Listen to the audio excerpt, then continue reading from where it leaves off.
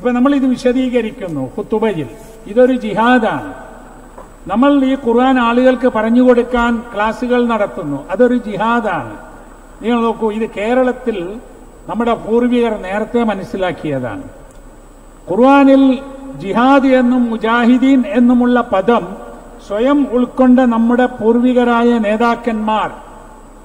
അതിനെ കണ്ടതെങ്ങനെയാണെന്ന് മനസ്സിലാക്കി തരാം ആയിരത്തി തൊള്ളായിരത്തി നാൽപ്പത്തിനാലിൽ കേരളത്തിൽ ഒരു സംഘടനയുണ്ടായി ജമ്മിയത്തുൽ മുജാഹിദീൻ എന്ന പേരിൽ. നമ്മുടെ അടുത്ത പ്രദേശത്ത് മലപ്പുറം ജില്ലയിൽ അരീക്കോട്ടാണ് സ്ഥാപിച്ചത് ജമ്മിയത്തുൽ മുജാഹിദീൻ. ആ സംഘടനയാണ് ആ പ്രദേശത്തുള്ള കുറേ വിദ്യാഭ്യാസ സ്ഥാപനങ്ങൾ നടത്തുന്നത്. അതിൽ ആർട്സ് കോളേജുകളുണ്ട് അറബിക് കോളേജുകളുണ്ട് മദ്രസകളുണ്ട് പള്ളികളുണ്ട് അതുപോലെ തന്നെ സാമൂഹ്യക്ഷേമ പദ്ധതികളുണ്ട് പലതുമുണ്ട്. അപ്പൊ അവർ നടത്തുന്ന ജിഹാദ് എന്താ? മർഹൂം എൻ വി അബ്ദുസലാം മൗലവിയാണ് പേരിട്ടിട്ടുള്ളത്. അദ്ദേഹം കോഴിക്കോട്ട് ഒരു ജിഹാദ് നടത്തിയിരുന്നു ഖുർആൻ ക്ലാസ്. ഇപ്പൊ ആരും ജീവിച്ചിരിപ്പുണ്ടാവും ഈ ഖുറാൻ ക്ലാസ്സും കോളേജ് നടത്തുന്നതൊക്കെ ജിഹാദാണെന്ന് താങ്കളോട് ആരാ പറഞ്ഞേ? എന്റെ പൊന്ന് മടവൂർജിയെ നമുക്ക് ഒന്ന് രണ്ട് തെളിവുകളോട് ഒന്ന് പരിശോധിക്കാം. സഹി ബുഖാരിയിലെ ആയിരത്തി അഞ്ഞൂറ്റി പതിനാറാമത്തെ ഹദീസ്. നിങ്ങൾ ശ്രദ്ധിച്ചു നോക്കുക. സഹി ബുഖാരിയിലെ ആയിരത്തി അഞ്ഞൂറ്റി പതിനാറാമത്തെ ഹദീസ്. ഇത് ആർക്ക് വേണമെങ്കിലും പരിശോധിച്ച് വെക്കാം. നിങ്ങളുടെ ഹദീസ് ഗ്രന്ഥം എടുത്തിട്ട് ബുഖാരിയിലെ ആയിരത്തി അഞ്ഞൂറ്റി പതിനാറാമത്തെ അല്ലെങ്കിൽ ബുക്ക് ഇരുപത്തഞ്ച് ഇരുപത്തഞ്ചാമത്തെ ബുക്കിലെ നാലാമത്തെ ഹദീസ്. ഹജ്ജ് എന്ന് പറയുന്ന പുസ്- പുസ്തകത്തിനകത്തെ നാലാമത്തെ ഹദീസ് എടുത്ത് വായിച്ചു നോക്കുക. Narrated ബൈ ആയിഷ ആയിഷ നിവേദനം. The Prophet sent my brother Abdul Rahman Abdul Rahman താനീം ഫോർ ഉംറ ആയിഷനെയും ആയിഷയുടെ സഹോദരൻ അബ്ദുർ റഹ്മാനെയും താനീമിലേക്ക് ഉമ്ര ചെയ്യാൻ വേണ്ടി മുഹമ്മദ് അയച്ചു. And he made me ride on packs slide ഒരു ഓട്ടോ പുറത്ത് എന്നെ അദ്ദേഹം യാത്രയാക്കി. ഉമർ സെഡ് ഉമർ പറഞ്ഞു be ready to travel for Hajj as it is അതായത് as Hajj is one of the two kinds of ജിഹാദ് മൊത്തം രണ്ട് തരം ജിഹാദാണുള്ളത് അതിൽ ഹജ്ജ് ഒരു തരം ജിഹാദാണ്. അപ്പം ആ രണ്ട് തരം ജിഹാദേ ഉള്ളൂ രണ്ടിൽ കൂടുതൽ ജിഹാദുകളില്ല.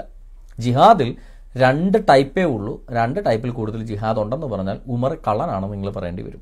അപ്പോൾ ആയിഷ ഇവിടെ പറയുകയാണ് ഉമർ ഞങ്ങളോട് പറഞ്ഞിട്ടുള്ളത് രണ്ട് തരം ജിഹാദ് ഉണ്ട് one of the two kind of ജിഹാദാണ്.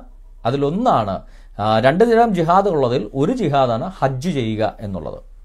അപ്പൊ നിങ്ങൾക്ക് മനസ്സിലായല്ലോ? ആകെ രണ്ടേ രണ്ട് തരം ജിഹാദേ ഉള്ളൂ. അതിൽ ഒരു തരം ജിഹാദ് ഹജ്ജാണ്. ഏതാണ്? മറ്റേ ജിഹാദ്. അപ്പൊ യുദ്ധം ചെയ്യാൻ പറഞ്ഞത് മറ്റേ ജിഹാദാണല്ലോ. യുദ്ധം ചെയ്യാൻ പറഞ്ഞത് ജിഹാദാണെന്നുള്ള ഇവിടെ തെളിഞ്ഞു കഴിഞ്ഞു. മറ്റൊരു ജിഹാദുള്ള ഹജ്ജാണ്. അല്ലാതെ ഖുറാൻ വായിക്കുന്നതും കോളേജ് നടത്തുന്നതൊക്കെ ജിഹാദാണെന്ന് മടവൂരിനോട് ആരാ പറഞ്ഞു വിട്ടേ?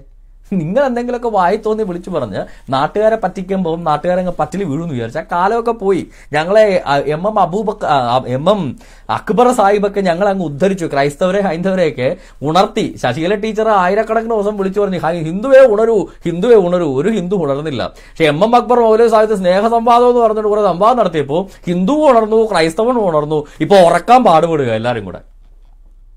അപ്പോ പണ്ടത്തെ പോലെ പറ്റിക്കാന്ന് വിചാരിക്കേണ്ട. നിങ്ങളുടെ പ്രമാണം നിങ്ങളെയൊക്കെ നന്നായിട്ട് ഇപ്പം ഞങ്ങൾക്ക് അറിയാം അപ്പൊ ഇവിടെ നമുക്ക് മനസ്സിലാവുന്ന ഒരു കാര്യമുണ്ട് ഈ ജിഹാദ് രണ്ട് തരമാണ്. അതിലൊന്ന് ഹജ്ജ. ഹജ്ജ് ചെയ്യാൻ ഒരു യുദ്ധം ചെയ്യാൻ പോകുമല്ലോ അപ്പൊ രണ്ടാമത്തെ ജിഹാദ് ഏതാ?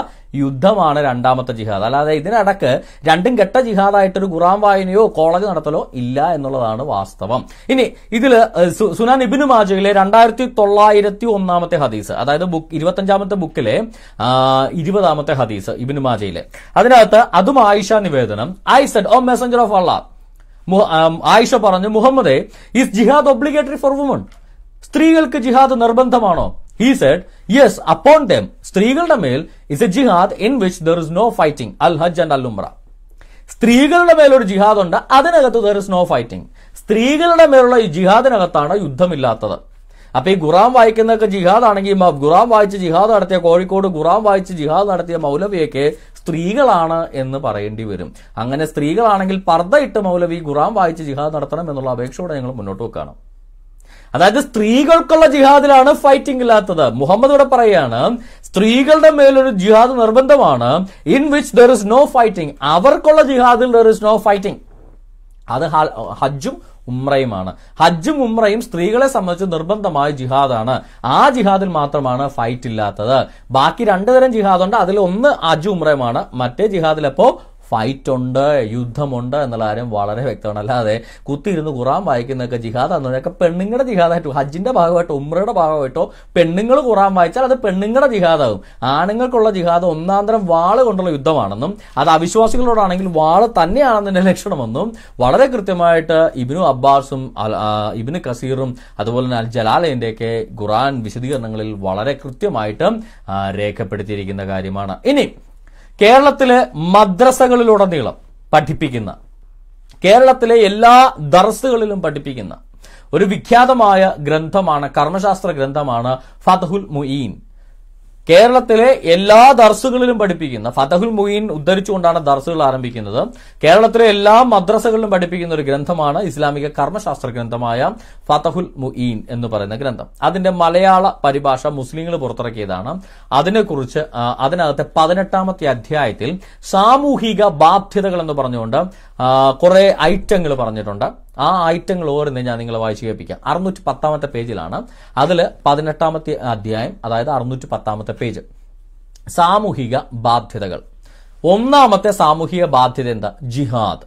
മുസ്ലിങ്ങളുടെ പ്രഖ്യാപിത ശത്രുക്കൾ തങ്ങളുടെ നാട്ടിൽ തന്നെ കഴിയുന്ന സാഹചര്യത്തിൽ അതായത് മുസ്ലിങ്ങളുടെ പ്രഖ്യാപിത ശത്രുക്കൾ അവരവരുടെ നാട്ടിൽ തന്നെ ഇവർ ഇങ്ങോട്ട് ആക്രമിക്കാത്ത സമയങ്ങളിൽ അതായത് ഇങ്ങോട്ട് ആക്രമിച്ചില്ലെങ്കിൽ മുസ്ലിങ്ങളുടെ പ്രഖ്യാപിത ശത്രുക്കൾ അവരവരുടെ നാട്ടിൽ അതായത് തങ്ങളുടെ നാട്ടിൽ തന്നെ കഴിയുന്ന സാഹചര്യത്തിൽ വർഷത്തിൽ ഒരു പ്രാവശ്യമെങ്കിലും ധർമ്മസമരം അതായത് ജിഹാദ് സാമൂഹിക ബാധ്യതയാണ്. അവർ നമ്മുടെ നാട്ടിലേക്ക് കടന്നുകയറ്റം നടത്തുകയാണെങ്കിൽ ബാധ്യത വ്യക്തിപരമാണ്. അത് എല്ലാവരും യുദ്ധത്തിന് പോകണം. അവർ ഇങ്ങോട്ട് കടന്നു കയറാതെ അവർ അവരുടെ നാട്ടിൽ തന്നെ നിന്നാൽ പോലും വർഷത്തിൽ ഒരു പ്രാവശ്യമെങ്കിലും ധർമ്മസമരം നടത്തിയിരിക്കണം ജിഹാദ് നടത്തിയിരിക്കണമെന്ന്. ഖുറാൻ വായിച്ചേപ്പിക്കാനല്ല മനസ്സിലായോ? അതായത് ഏതൊരു മുസ്ലിം സമൂഹവും വർഷത്തിൽ ഒരു പ്രാവശ്യമെങ്കിലും അവർ ശത്രുവായിട്ട് പ്രഖ്യാപിച്ചിട്ടുള്ള മുസ്ലിം രാജ്യത്തേക്ക് ഒരു ഭീകര പ്രവർത്തനം നടത്തിയിരിക്കണം. ഇതാണ് വർഷത്തിൽ ഒരു പ്രാവശ്യമെങ്കിലും ഇന്ത്യയിൽ പൊട്ടിക്കാൻ വേണ്ടി ഈ കാശ്മീരിലെ മുസ്ലിം ഭീകര സംഘടനകളും പാകിസ്ഥാനിലെ മുസ്ലിം ഭീകര സംഘടനയും തലകുത്തി മറിഞ്ഞും ചെയ്യുന്നത്. കാര്യം അവരുടെ മതം പഠിപ്പിക്കുന്ന അവരുടെ സാമൂഹിക ഫർലി കിഫായ സാമൂഹിക ബാധ്യതയാണ് ഈ പറയുന്ന ജിഹാദ്. അത് ഇങ്ങോട്ട് ആക്രമിച്ചില്ല. ഇപ്പൊ നമ്മൾ പാകിസ്ഥാൻ ആക്രമിച്ചില്ലെങ്കിലും പാകിസ്ഥാൻ ഡയറക്റ്റോ ഇൻഡയറക്റ്റോ വർഷത്തിൽ ഒരു പ്രാവശ്യമെങ്കിലും ഇന്ത്യയെ ആക്രമിച്ചിരിക്കണം. അത് അവരുടെ സാമൂഹിക ബാധ്യതയാണ്. അങ്ങനെ ചെയ്തില്ലെങ്കിൽ തെറ്റാണ്. നമ്മൾ അങ്ങോട്ട് ആക്രമിച്ചാൽ അവരെ എല്ലാ വ്യക്തികൾക്കും ആ ബാധ്യത വന്നു ചേരും. നമ്മളെ അങ്- നമ്മൾ ഇന്ത്യ എന്ന് പാകിസ്ഥാൻ ആക്രമിക്കാതെ എത്ത കാലമാണെങ്കിൽ ഓരോ വ്യക്തിക്കുമല്ല ആ സമൂഹത്തിന് പൊതുവായിട്ടാണ് ബാധ്യത. ആ സമൂഹം ആരെങ്കിലും നിയോഗിച്ച് ഇന്ത്യയെ ഒന്ന് ആക്രമിച്ചിരിക്കണം. അതാണ് ഈ ടെററിസ്റ്റ് സംഘടനകളെ ഇസ്ലാമിക ഭീകര പ്രസ്ഥാനങ്ങളെ മുഹമ്മദിന്റെ സൈന്യത്തെയും അതായത് ജെയ്ഷെ മുഹമ്മദിനെയും അതുപോലെ തന്നെ ലഷ്കർ ഇ തൊയ്ബയൊക്കെ വെച്ച് ഈ പാകിസ്ഥാനൊക്കെ ഇന്ത്യക്കെതിരെ നിഴൽ യുദ്ധം നടത്തുന്നത്. നിങ്ങളൊന്ന് മനസ്സിലാക്കിയിരിക്കുക. ഇനി ഈ ജിഹാദ് എന്താണെന്ന് ഇതിന്റെ അവസ് ഇതിൻ ഈ പേജിന്റെ അപ്പുറത്തെ പേജിൽ അതായത് അറുന്നൂറ്റി പതിനാറാമത്തെ പേജിൽ ഫതൽ മുയിന്റെ അറുന്നൂറ്റി പതിനാറാമത്തെ പേജിൽ ജിഹാദ് എന്താണെന്ന് വളരെ വ്യക്തമായിട്ട് വിശദീകരിക്കുന്നുണ്ട്.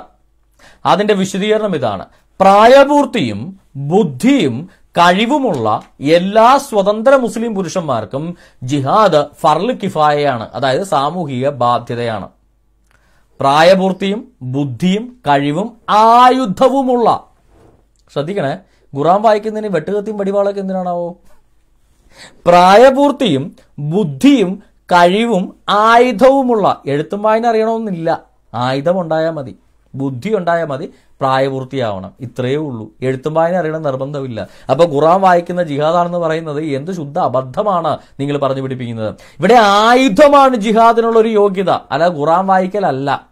അപ്പൊ പ്രായപൂർത്തിയും ബുദ്ധിയും കഴിവും ആയുധവുമുള്ള എല്ലാ സ്വതന്ത്ര മുസ്ലിം പുരുഷന്മാർക്കും ജിഹാദ് ഫർൽ കിഫായയാണ്. സ്ത്രീകൾക്ക് നിർബന്ധമില്ല ബാക്കിയുള്ളവർക്ക് നിർബന്ധമില്ല. ബുദ്ധിമാന്യത ഉള്ളവർക്ക് നിർബന്ധമില്ല. ഇനി അതിന്റെ കണ്ടിന്യൂ അറുന്നൂറ്റി പതിനേഴാമത്തെ പേജിൽ അത് തുടരുകയാണ്. നിരായുധന് ജിഹാദ് നിർബന്ധമില്ല. കാരണം ആയുധമില്ലാത്തവന് സഹായിക്കാനാവില്ല. അപ്പൊ ആയുധം മസ്റ്റാണ്. ആയുധമില്ലാത്തവന് ജിഹാദ് ചെയ്യാൻ പാടില്ല പറ്റില്ല. അവന് ജിഹാദ് നിർബന്ധവുമല്ല എന്ന് ഇവരുടെ മുസ്ലിം മതഗ്രന്ഥം പഠിപ്പിക്കുന്നു. ഇനി നിങ്ങൾ പറ ജിഹാദ് എന്ന് പറയുന്നത് ഖുറാൻ വായനയാണോ? കോളേജ് ഇറങ്ങുന്നതാണ്. നിങ്ങൾ കോളേജ് ഇറങ്ങുന്ന വടിവാൾ വല്ല കളരി കളരി കോളേജാണോ തുടങ്ങുന്നത് കളരി പരമ്പര ദൈവങ്ങളെ വിളിച്ചിട്ട് ഇടത്തുമാറി വലത്തുമാറി വാൾ വെച്ച് പറ്റുന്ന കാര്യമാണോ? നിങ്ങൾ ആർട്സ് കോളേജിൽ പഠിപ്പിക്കുന്നത് അല്ലല്ലോ. ആർട്സ് കോളേജ് അല്ലേ നിങ്ങൾ തുടങ്ങിയെന്ന് പറഞ്ഞല്ല സ്പോർട്സ് കോളേജ് അല്ലല്ലോ. വാളിന്റെ കോളേജ് തുടങ്ങിയെന്നല്ലല്ലോ നിങ്ങൾ പറഞ്ഞേ. അപ്പോ ഹുസൈൻ മടവൂരെ ഇമ്മാതിരം മണ്ടത്തരങ്ങൾ വിളിച്ചു പറഞ്ഞ് അമുസ്ലിങ്ങളെ പറ്റിക്കാമെന്ന് വിചാരിച്ച സുനിത ദേവദാസെ ഈ ഹുസൈനെ പോലുള്ള ആളുകളെ കൊണ്ടുവന്ന് അമുസ്ലിങ്ങളുടെ കണ്ണിൽ പൊടിയിടാന്ന് വിചാരിച്ചോ. അതൊക്കെ അങ്ങ് പണ്ട് ആ ഉടായ്പൊക്കെ കയ്യിൽ വെക്കുക. അപ്പൊ നിങ്ങളുടെ ഖുറാനകത്തും നിങ്ങളുടെ ഗ്രന്ഥങ്ങൾക്കകത്തും വളരെ കൃത്യമായിട്ടാണ് അമുസ്ലിങ്ങൾക്കെതിരെ വാളെടുത്ത് ജിഹാദ് ചെയ്യണം. ജിഹാദ് എന്ന് പറഞ്ഞാൽ അമുസ്ലിങ്ങളുമായിട്ട് ബന്ധപ്പെട്ടാണ് ജിഹാദ് എങ്കിൽ അത് യുദ്ധം ചെയ്യല. അല്ലാതെ ഖുറാൻ വായിക്കുന്നത് ജിഹാദ് അല്ല എന്ന് തന്നെയാണ് ഇവിടെ ഗ്രന്ഥങ്ങളിൽ നിന്ന് നമുക്ക് വ്യക്തമാകുന്നത്. up.